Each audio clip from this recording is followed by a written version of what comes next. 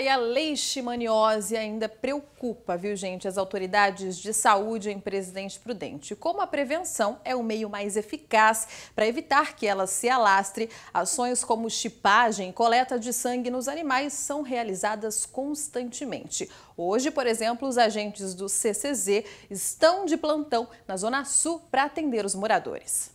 O procedimento, velho conhecido dos prudentinos, ainda é uma das principais armas contra o que ninguém deseja para o animal de estimação, doenças que podem levar à morte.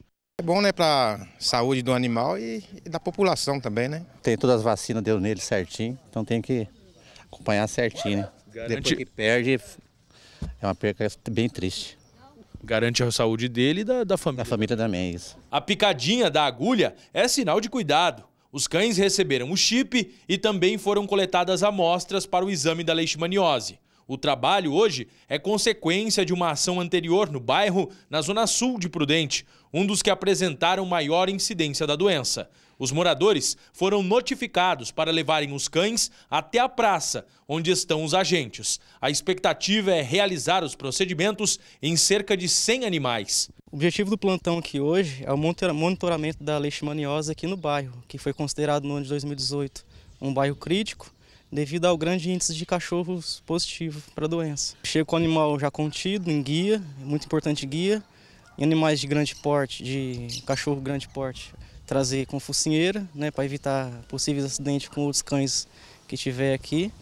E a gente vai realizar a coleta de sangue, que é bem simples, e nos animais que não foram chipados, a gente vai estar chipando também. Em Presidente Prudente, 2018, fechou com 231 casos da leishmaniose. Transmitida pelo mosquito palha, o ideal é manter os quintais limpos e livres de matéria orgânica em decomposição para evitar a proliferação do inseto.